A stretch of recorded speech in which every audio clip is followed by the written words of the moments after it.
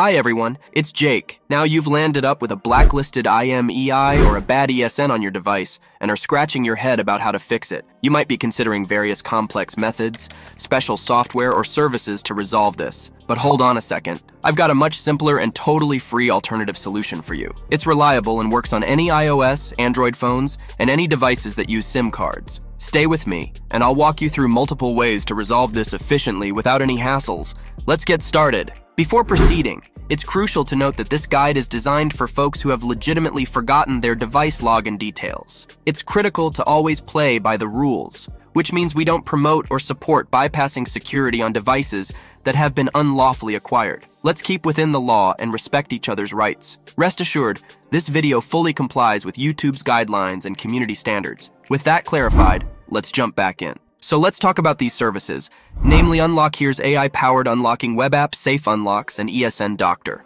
These are some of the most efficient solutions out there for removing a blacklist from your device. They're user-friendly and super effective. Just remember, this isn't a sales pitch for these services, but it's about equipping you with the knowledge to find a solution that suits you best.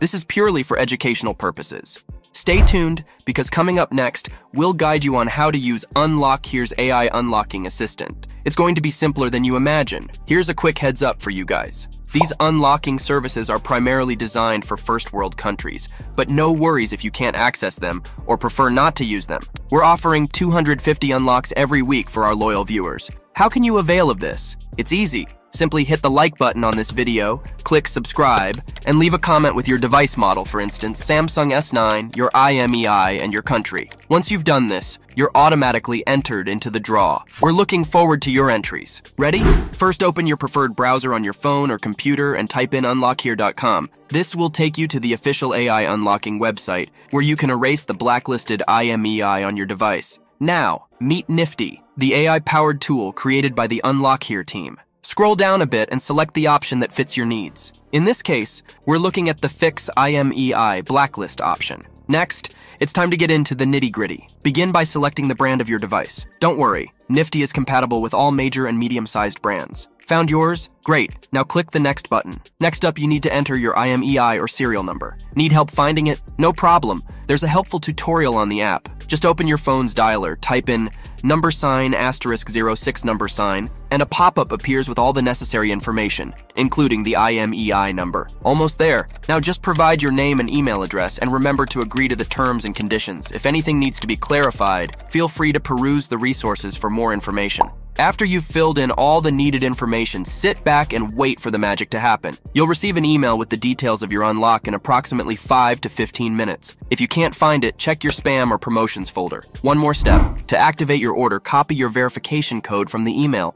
Click on the Confirm My Order, paste the code on the page, complete the CAPTCHA, and finalize by clicking Validate Info and Start Unlock. And that's it, you're done. Nifty will take over and wrap up the unlocking process. Just pop in a compatible SIM card and restart your device.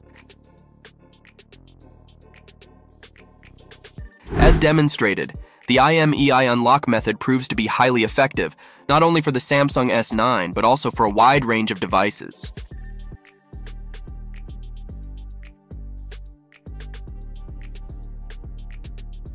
You can go ahead and give it a try with confidence, and feel free to inspect your device to ensure everything is running smoothly. If anything trips you up along the way, don't hesitate to chat with live support. They're ready and waiting to help you out.